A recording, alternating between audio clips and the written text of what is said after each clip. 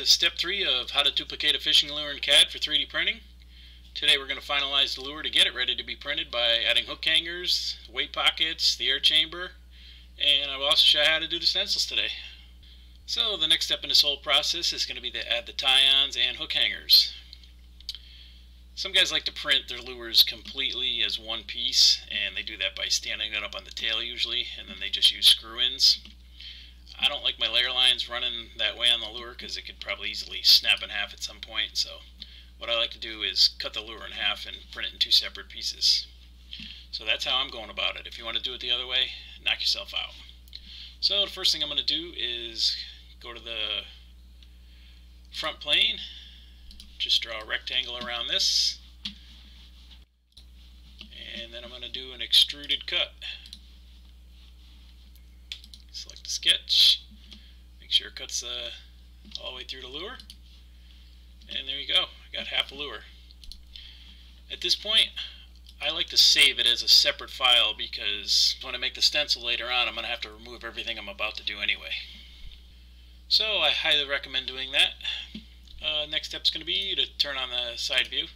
This is going to show us where our hook hangers need to be. So starting on the front plane, we're going to start a sketch now if you wanted to do a through wire, you could actually just draw, draw a channel. The width would have to depend on the width of your wire doubled up. And then you could actually just extend this channel down here to the other hook hanger, and this would give you your actual channel where you could bend the wire to. I am not going to do a through hanger on this one. I am going to use uh, my pinned in hook hangers. So starting with a circle, and at the rear, my hook hangers are about 0.18. I usually do about 0.20 to give me some leeway with all that melty plastic. So I draw two circles, and I know the dimension for me is 0.235 center to center. And I take a rectangle, draw the center portion, and that's about 0.10 for me. Just gonna another five to keep that in place and I basically I trim all this out.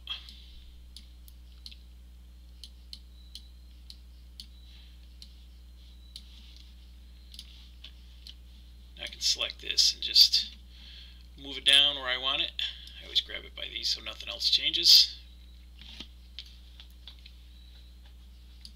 And that's close enough. And while it's uh, still highlighted, I copy it with Control C and Control V paste it can just move that one down here. I'm going to center it up at best as I can. Scroll out a bit and then using uh, under tools, it's going to be sketch tools and I am going to rotate the sketch. You just select what center point you want. Then I can just drag it. Looks pretty good. Just going to select it again. Move it down just a little bit. Go up here and paste another one. And I'm going to do the same thing. Tools, sketch tools, rotate, select my point.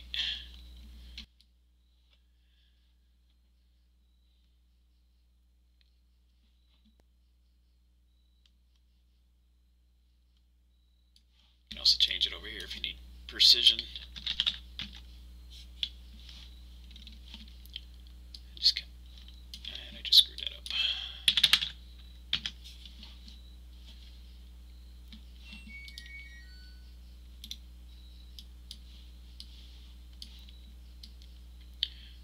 position it where it should go. I don't want this in the lip though, so I'm just going to go right at the edge.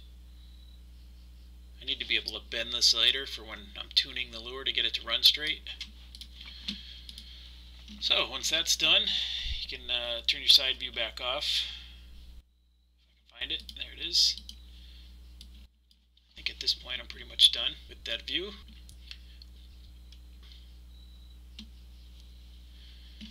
Just gonna look at this I'm gonna use an extrude cut. Select my sketch. I'm gonna go about 0.03 deep. Gotta make sure it's into the body.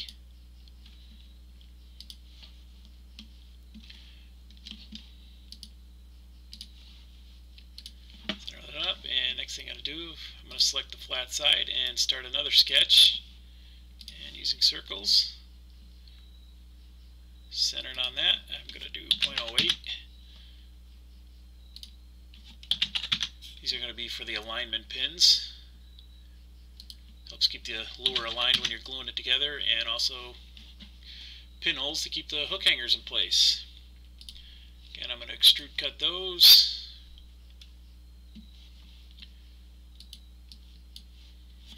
Go 0.15 should be plenty. Make sure it's not interfering in the back. It is, so I'm just going to do 0.125. That way my pins will be quarter inch.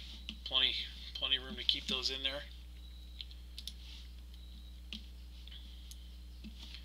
Okay, and then I'm just going to chamfer these edges just a tad. just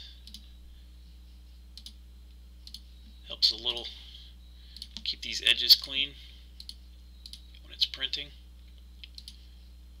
Any little bit of elephant foot you get while you're printing, if your Z height's not right, this will help out a little bit. That way you don't have as much to clean up as you're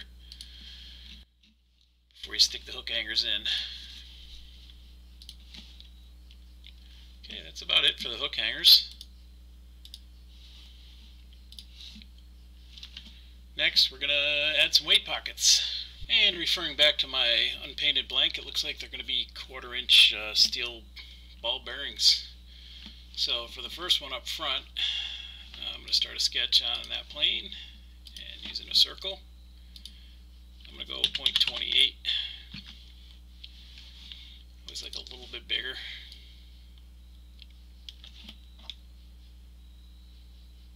And I am just going to cut that in half. Trim off half of it. And I'm going to do a revolve cut And that's going to be my first pocket. I'm going to start another sketch. And using another circle, I'm going to come down here. This one I'm going to make 0.30 just because it's uh, a going to be a rattle chamber. So this might take a little bit of trial and error, but it's going to be up a little bit higher. And I'm going to try to make it, just normal extrude cut on this one. Try to do 25, see what happens.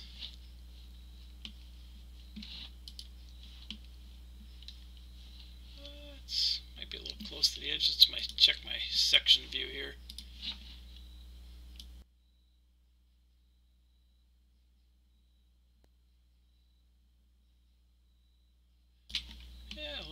close.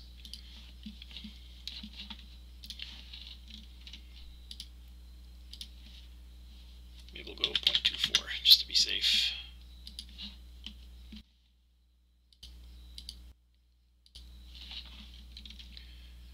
I also like to chamfer this edge a little bit, just a tad. And that's pretty good. Now I'm going to make a big old uh, air chamber at the top And I start a sketch on this and using this line I'm just going to offset that. Of course I'm going to do it into the body. Eh, point 10 is good. I want enough room to be able to lay the glue in there so I'm going to use point 10.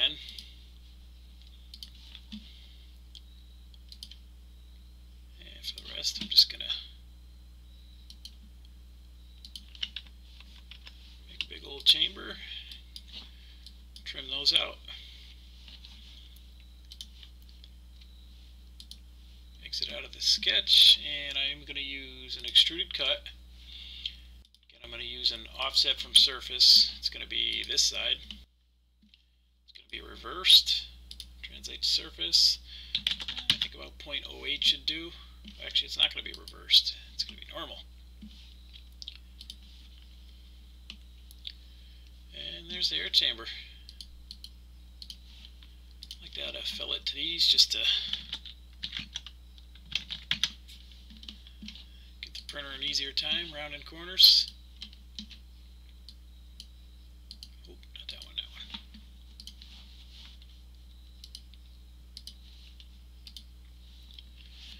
one. And I think that's about does it. I think it's uh, ready to print.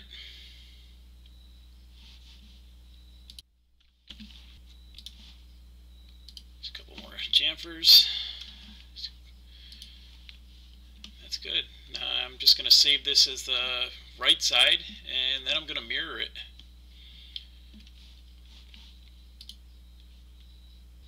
And to do that, I just go up to Insert. Actually, I got to select the front plane first, then go to Insert and Mirror Part.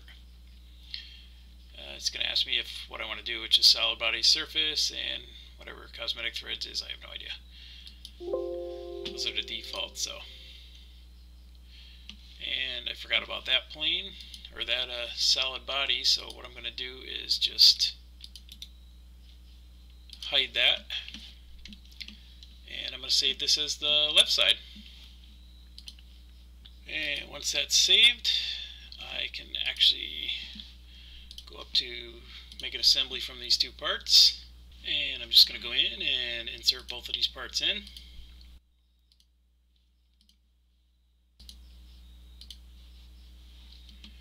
And that's what our finished lure is going to look like. Oh, eyebrows might be a little weird. I might clean those up before I actually print it, but for now, it's pretty good. So what I'm going to do now is uh, I'm going to make this float, and I'm going to rotate it around the delta of Z. So it's going to be 90. Just going to move that up here, and I'm going to fix it again, and then I'm going to mate this one float And I'm going to use the make command. Grab this flat surface, that flat surface, flip it around, and then just align it up or parallel. I'm just probably going to grab that surface, that surface, flip it around.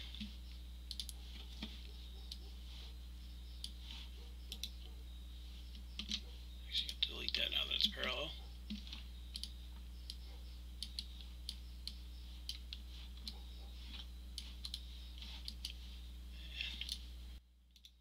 Delete that.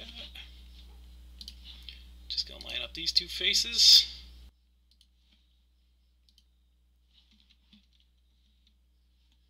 That's it. I am going to save that as an STL and it's ready to print. Before I get into the actual stencil, I'm going to print one of these off just to make sure nothing needs changing before I get too far into things. So we're going to go do that and we'll be back. Okay, and through the magic of editing, here we are. Here's the first printed one compared to the original. It's pretty close. I made a couple of errors here. You can see the the inside air chamber actually came into the eye and these are a little bit bigger. So what I did off camera to save some time is I made some changes and I printed a new one. I fixed the eye. I made these a little more defined, these a little smaller, and popped these out a little bit more. So it actually looks uh, closer to the original than the first copy I think the lip angle's off a little bit, but I am not going to change that, but it'll work good enough. Another thing I was talking about before is you can see, hopefully you can see this, where my body's more of a, a true ellipse compared to this, where it's, it's more of a boxy rectangular shape. So, like I said before, if you're just doing this for stencils, you're going to have to actually use a spline to create the body shape and get as close as you can. Maybe print one, change a few things before you get too crazy in it. But for now, this is how it came out, and this is how it's going to be. I think I might insert these a little bit more into the body when I print the next one, just so they don't stick out as much, but this is where we're at. Uh, now that we're happy with what we have, we're going to get into the stencil.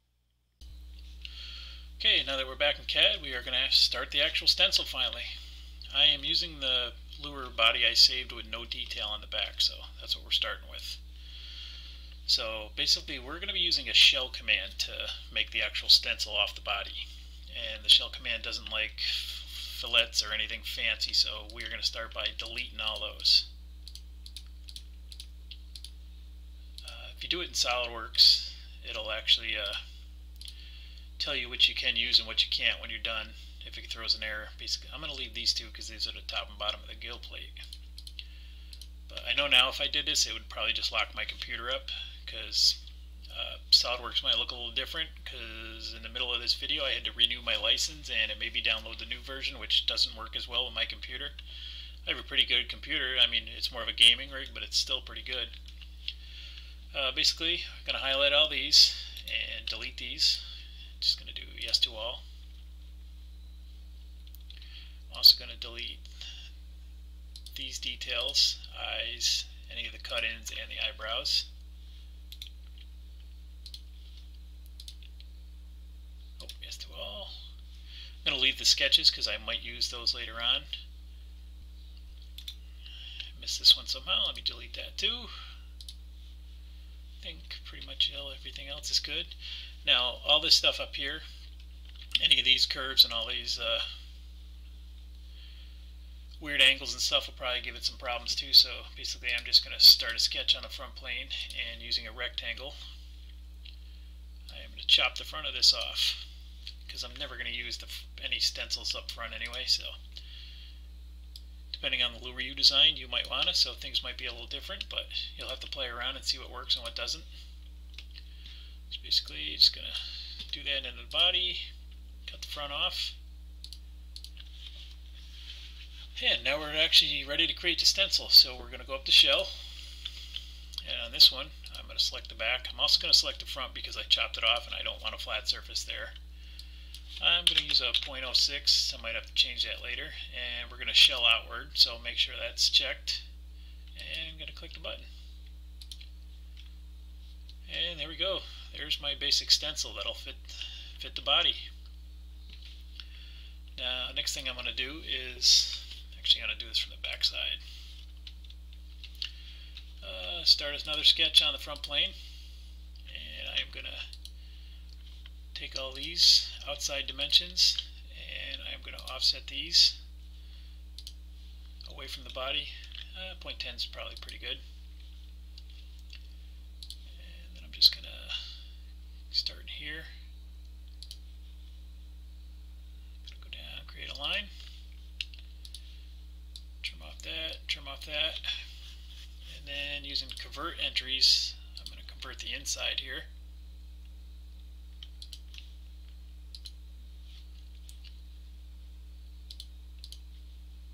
And just trim this off, and basically that sketch is going to get extruded.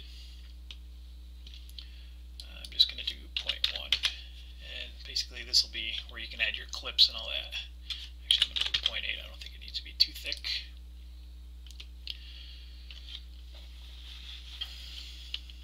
Okay, now, oh, what happened there? Next thing we're going to do is turn on our side view one last time. Starting on the back side.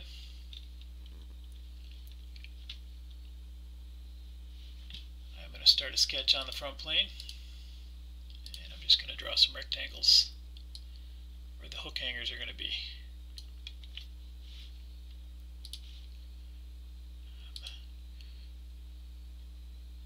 Just going to make sure I'm going to adjust these once I flip it around. So that's a basic size I know I need. Back to this side. And I can actually come down a bit.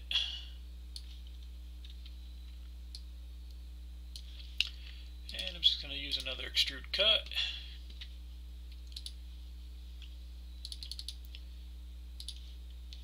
And those will basically just give me the reliefs for uh, my hook hangers.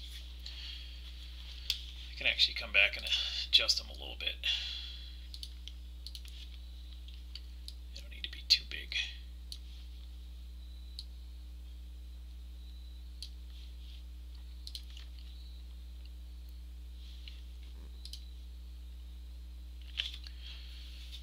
That should be good enough for now. You can always trim them out later. Just round these corners off. Just for aesthetics. I think I said that right finally.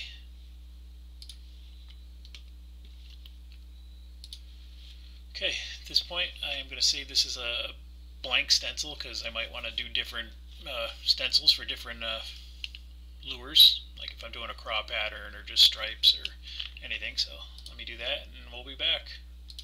Okay, once we got it saved as a blank, we can, uh, we don't need our side view. That should be the last time we need our side view. I actually just want to come back to this side because I am going to need to adjust these again. I forgot about the thickness of the actual stencil part.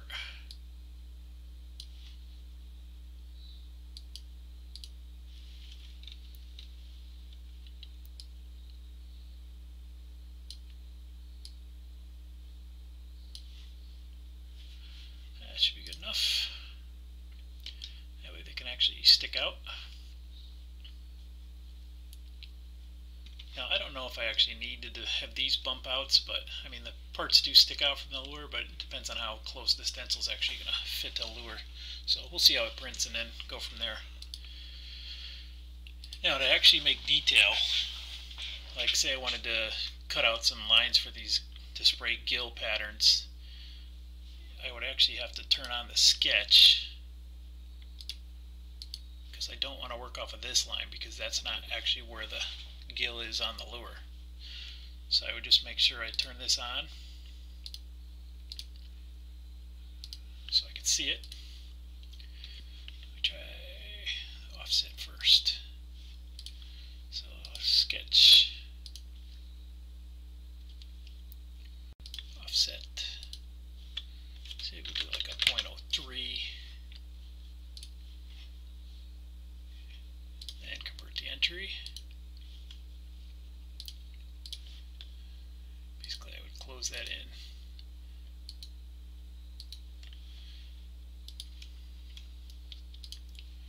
And then I would just do an extruded cut and make sure it's into the stencil. Basically that would give me a line to spray along the gill pattern if I wanted to. And you can see where I don't want to use the outside because when it creates the shell it makes it thicker so you always want to work off your original sketches. So I'm not going to use that, that was just an example. I think on this one I am just going to do some uh, basic perch stripes. So I'm going to go to the front plane again using splines. Just gonna do some crazy, crazy stripes, I guess. I'll probably fast forward through this part in editing.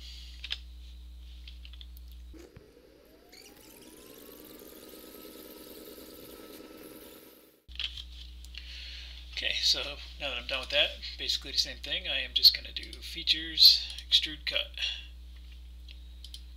Make sure my sketch is selected. Stencil. And there we go. Got some uh, crazy stripy patterns. And if I don't like how they look, you can just come back and edit your sketch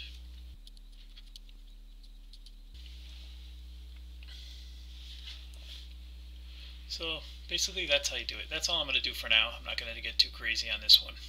One last thing I like to do before I actually save this is to scale it up just a tiny bit. So I go up to insert and features and scale. Uh, select a body. I like to use 1.02, 0.03 just to make it a tad bit bigger. This is going to leave a little bit of room so it doesn't scratch any paint you put on there already, or if you clear coat your lures before you start adding detail like this, it just leaves room for that clear coat. So now that that's now that that's done, I am going to save this as an STL and shoot it over to the printer. And with again with the magic of editing, we'll be back with a printed stencil. So here we go. We have the finished stencil. It printed out surprisingly well, nice and clean. I did print this with full supports in here that snapped off uh, nice and easy, so that came out great. It fits the lure, almost perfect. See if I can line it up here one. Doing this on camera is a little hard. There will be two halves you'd print two and clamp them together clearly, but uh, the spray line will be nice and clean. I think it's going to work out uh, perfect. And when it comes to the, the bought lure, it will work. It's not a perfect fit. I can actually show it on the clear one a little better. where like if I lined it up perfect with the top, the bottom would be off a little, but I think it would uh, it would still be able to be used. I mean, the body shape is a little different. I mean, I could change it if I really wanted to, but I'm not gonna because this would work for what I needed to do. But overall, that's how you make a stencil. That's how you make a lure.